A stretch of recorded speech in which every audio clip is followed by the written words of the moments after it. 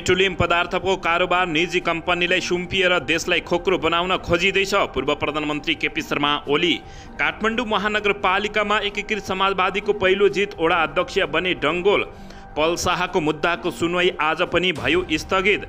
सङ्घ र प्रदेशमा पनि तालमेलको पक्षमा सत्तारूढ दल गठबन्धन। एक्सनमा मेयर हरका साम्पाङ। राजीनामाबारे चार बुँदे स्पष्टीकरण दिँदै रविन्द्र मिश्राले भने बाँकी उपरवालेकी इच्छा। धनगढीका मेयर हमालले कार्यालय समयमा भेटघाट नगर्ने दिए छुट्टै समय। तिलोत्तमाको मेयरमा काङ्ग्रेसका खाँडको अग्रता कायमै उपमेयरमा एमालेकी चौधरीको जित सुनिश्चित। काठमाडौँ महानगरपालिकामा तीन वडाको मतगणना जारी कसको मत कति यसबारे पुरा जानकारी कुन प्रदेशमा कतिजना प्रतिनिधि निर्वाचित भए यसबारे समेत जानकारी।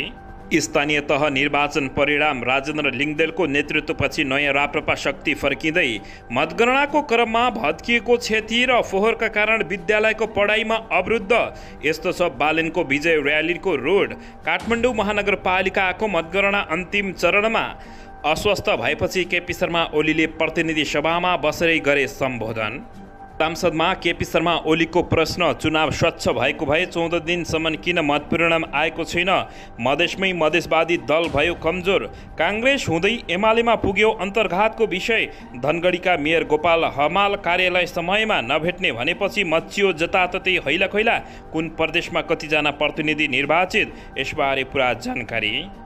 र एमालेको अहङ्कार डाउन भयो तर केपी शर्मा ओलीको भएको छैन। माओवादी केन्द्रको निष्कर्ष स्थानीय तहको निर्वाचनमा पार्टीभित्रबाटै अन्तर्घात भएको केपी शर्मा ओलीको भनाइ केपी शर्मा ओली र उपेन्द्र यादव बीच भेटवार्ता सत्तारूढ दल गठबन्धन फुटाउने एमालेको दाउ। अब हेर्नुहोस् पुरा समाचार।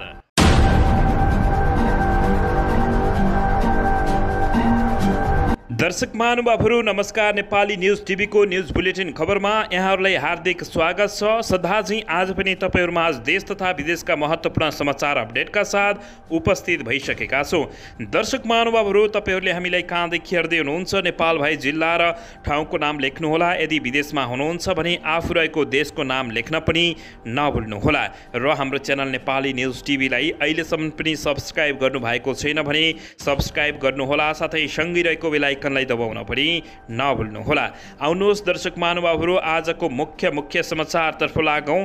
त्योभन्दा पहिला दर्शक महानुभावहरू हाम्रो मेहनतको लागि एउटा सानो लाइक गर्न पनि नभुल्नुहोला दर्शकबिन नाबालिकामाथि जबरजस्ती करणी गरेको अभियोगमा पूर्वपक्षका लागि थुनामा रहेका अभिनेता पल शाहको मुद्दाको सुनवाई बिहिबार पनि स्थगित भएको छ। उच्च अदालत पोखरामा आज हुने भनिएको सुनवाई शाहकै वकिलले हटाएको अदालत स्रोतले जानकारी दिएको छ। शाहको मुद्दाको सुनवाई आगामी बिहिबार हुने जानकारी दिएको छ। नाबालिका बलात्कारको अभियोगमा शाहलाई तनौ र नवलपुर जिल्ला अदालतले पूर्वपक्षका लागि थुनामा पठाउने आदेश दिएको थियो। उक्त आदेश विरुद्ध पल शाहले उच्च अदालत पोखरामा निवेदन दिएका थिए। दर्शकबिन तर पल शाहको मुद्दाको सुनवाई आज पनि स्थगित भएपछि पल शाहका फ्यानहरू निराश भएका छन्। दर्शकबिन यसैबीच यता काठमाडौँ महानगरपालिकाको प्रमुखमा जित पक्का गरिसकेका स्वतन्त्र उम्मेद्वार बालेन्द्र शाहका समर्थकहरूले विजय जुलुसको तीव्र तयारी थालेका छन्। शाहको चुनावी अभियानमा सक्रिय गणेश कार्कीले सामाजिक सञ्जाल फेसबुक मार्फत विजय जुलुस निकाल्ने तयारी गरेको जानकारी दिएका छन्। अन्तिम घोषणा भएको केही समयपछि हाम्रो र्याली सभा गिर्यबाट सुरु भएर भद्रकाली शहीद गेट हुँदै त्रिपुरेश्वर कालीमाटीबाट कलङ्की पुग्नेछौँ उनले लेखेका छन्। त्यहाँबाट स्वयं शम्भु बालाजु महाराजगञ्ज चाबाहिल हुँदै गौशाला एयरपोर्ट सिनामङ्गलबाट पुरानो बानेश्वर मैतीदेवी पुटली सडक बागबजार हुँदै खुल्ला मञ्चमा गएर समापान गर्ने बताइएको छ। आफूलाई पाएक पर्ने समय र स्थान मिलाएर र्यालीमा सामेल हुन सक्ने उनले जानकारी दिएका छन्। पछिल्लो परिणाम अनुसार एक लाख तिरासी हजार छ सय उना असी मतगणना भइसकेको निर्वाचन अधिकृतको कार्यालयले जानकारी दिएको छ। अब तिनवटाको सात हजार मात्रै मतगणना बान्न गन्न बाँकी छ। पछिल्लो मत परिणाम परिणाम अनुसार स्वतन्त्र उम्मेद्वार बालेन्द्र शाहले उन्साठी हजार एक सय उनपचास मत प्राप्त गर्दा उनका निकटम प्रतिद्वन्दी सृजना सिंहले सैँतिस हजार पाँच सय बयालिस मत प्राप्त गरेकी छन्। यसै गरी एमाले उम्मेद्वार केशव स्थापितले सैँतिस हजार दुई सय अठार मत ल्याएको सँगै तेस्रो स्थानमा रहेको जानकारी प्राप्त भएको छ। दर्शक पनि यसैबीच यता पेट्रोलियम पदार्थको कारोबार निजीले निजी कम्पनीलाई सुम्पिएर देशलाई खोक्रो बनाउन खोजिँदैछ भन्दै पूर्व प्रधानमन्त्री केपी शर्मा ओलीले गम्भीर आरोप लगाएका छन्। नेकपा एमालेका अध्यक्ष एवं पूर्व प्रधानमन्त्री केपी शर्मा ओलीले नेपाल आयल निगमलाई ध्वस्त बनाउन सरकार नै लागेको आरोप लगाएका छन्। आयल निगमको विकल्पमा निजी क्षेत्र ल्याउन सरकार आफै मोटो रकमको चलखेलमा लागिरहेको पनि उनले बताएका छन्। सरकारको नीति तथा कार्यक्रमबारे प्रतिनिधि सभामा शुक्रबार बोल्दै उनले भने आयल निगम ध्वस्त बनाएर त्यस्तो खालको अरबौँको व्यापारमा निजी क्षेत्र घुसाउन खोजिँदैछ। यसका लागि मोटो रकमको चलखेल भइसकेको छ हुनेवाला छ भन्ने बजारमा हल्ला भएको केपी शर्मा ओलीले आरोप लगाएका छन्। आफू पहिलोपटक प्रधानमन्त्री भएका बेला समेत झुक्काएर एउटा समूह त्यो कार्यमा लागेको स्मरण गर्दै केपी शर्मा ओलीले पछि थाहा पाएपछि त्यसलाई निष्क्रिय बनाएको उनको दावी रहेको छ।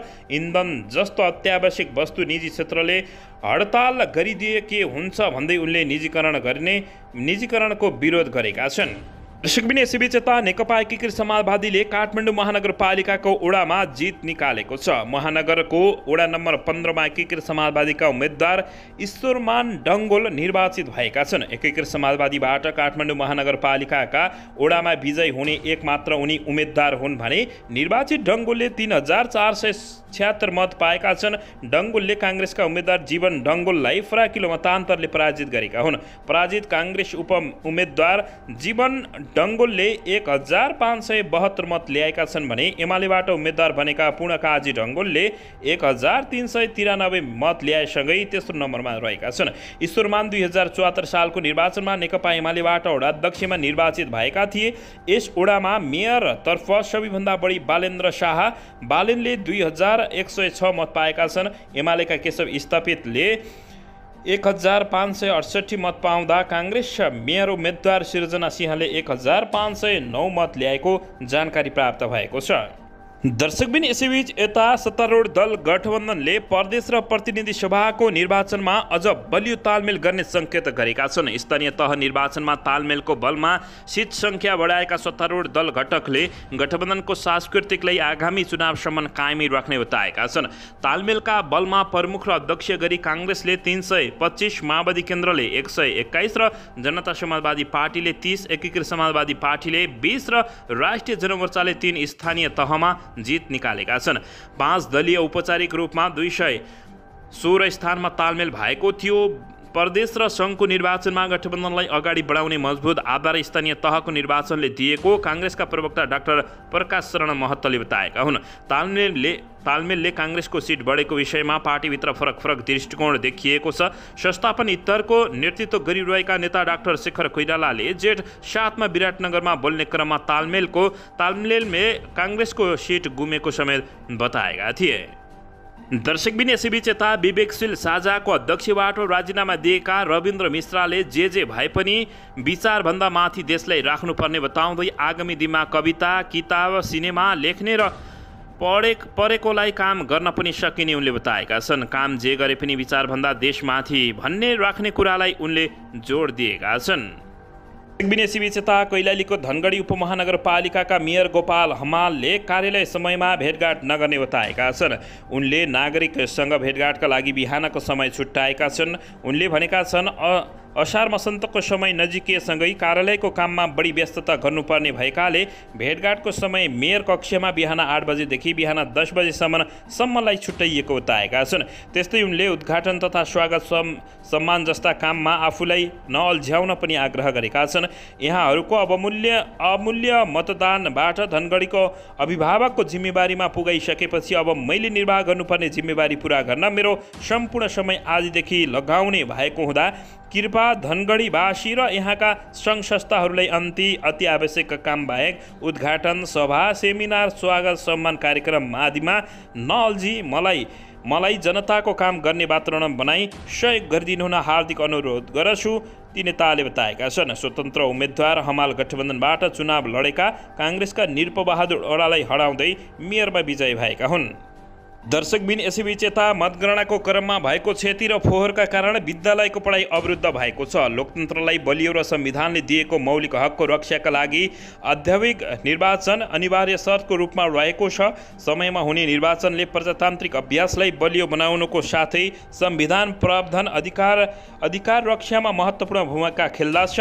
नागरिकको अधिकारलाई सुरक्षा गर्ने गर्ने निर्वाचनकै कारण मौलिक हक हननको उपभोगमा बाधा सिर्जना भएको भन्दा कसैले पत्यार गर्दिन तर यो सत्य हो दर्शकबिन। निर्वाचन प्रक्रियाका क्रममा विभिन्न पक्षले गरेको लापरवाहीका कारण पढ्न नपाउने अधिकारबाट वीरगन्जमा बालबालिका तथा देशैभरि कतिपय स्थानमा बालबालिकाहरू पढ्नै पाउने अधिकारबाट वञ्चित भएका छन्।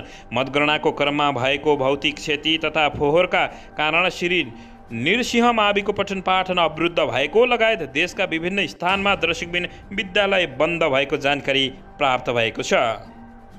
दर्शकबिन यसैबीच यता स्थानीय निर्वाचन चितवनमा गठबन्धन दललाई एमाले एक्लै भारी परेको छ। यसपटकको स्थानीय तहको निर्वाचनमा पाँच दलीय गठबन्धन र नेकपा एमाले बीच प्रतिस्पर्धा भयो।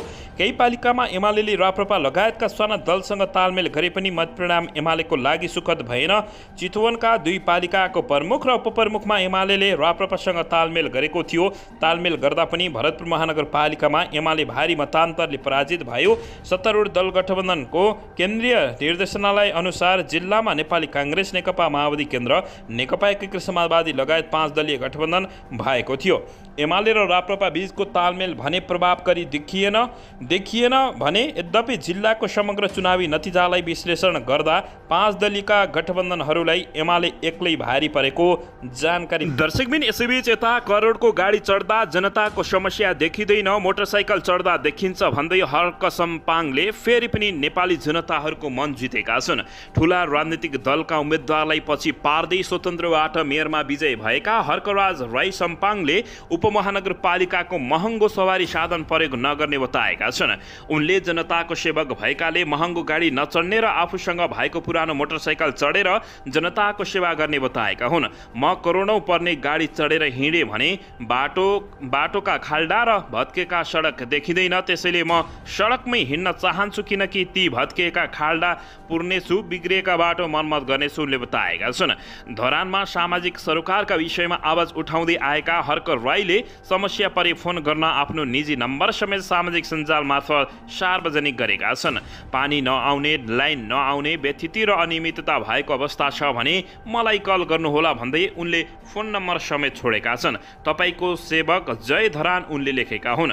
उपमहानगरपालिका प्रशासन महाशाखा अन्तर्गत स्टोर विभागले प्रमुखका लागि लागिको एक ज छ सय चालिस नम्बरको आरामदायी स्कार्पियो तयारी अवस्थामा राखिदिएको छ। चालक पनि तयारी तयारी अवस्थामा रहेका छन्। यस्तै उपप्रमुखका लागि पनि गाडी तयारी अवस्थामा राखिएको प्रशासन महाशाखा प्रशासकीय अधिकारी गणेश कट्टीवालाले जानकारी दिएका छन्। दर्शकबिन यसैबीच यता भरतपुर महानगरपालिकाको पदभार ग्रहण गर्दै नगर प्रमुख रेणु दाहालले दुई महत्त्वपूर्ण निर्णय गरेकी छिन् पहिलो निर्णय अनुसार अब महानगरपालिकाभित्र बासिन्दाले मासिक सात हजार लिटर खानेपानी निशुल्क पाउने भएका छन्। यस्तै महानगरभित्र जन्मिने छोरीलाई एक लाख रुपियाँको छोरी बिमा निर्णय निर्णय गरिएको छ। महानगरभित्रका झन्डै बाहन्न प्रतिशत जनताले बुधबारदेखि नै निशुल्क खानेपानी पाउने भएका छन्। यसका लागि वार्षिक दुई करोड पचास लाख रुपियाँ रुपियाँ हाराहारी खर्च हुने महानगरको अनुमान रहेको छ। महानगरभित्र खानेपानी व्यवस्थापन बोर्ड र उपभोक्ता सहर समिति मार्फत खानेपानी वितरण गरिँदै आएको छ। बोर्डका पैँतिस ग्राहक हजार ग्राहक छन्। बोर्डका प्रमुख प्रजापति दाहालका अनुसार पच्चिस भन्दा बढी उपभोक्ता समिति मार्फत महानगरमा खानेपानी वितरण गरिँदै आएको छ। महानगरका नब्बे प्रतिशत जनताले सरकारी निकायबाट वितरण गरिएको खानेपानी उपभोग गर्दै आएको बताएका छन्। महानगरले गरेको दोस्रो निर्णय महानगरपालिकामा स्थानीय स्थानीय जो बसोबास गर्नेहरूबाट जन्मिएका छोराका छोरीका लागि एक लाख रुपियाँको जीवन बिमा गरिने भएको बताएकी हुन्। महानगर नगरका लेखा प्रमुख जगन्नाथ अड्यालका अनुसार पहिलो वर्ष एक हजार सात सय पचासजनाको बिमा हुनेमा अनुमान गरिएको छ। सरकारी स्वास्थ्य संस्थामा जन्मिएका छोरीहरूले यो सुविधा पाउने जानकारी प्राप्त भएको हो। दर्शकबिन यता ललितपुर महानगरपालिका नवनिर्वाचित मेयर चिरिबाबु महर्जन सहित अन्य जनप्रतिनिधिहरूले शपथ ग्रहण खाएका छन्।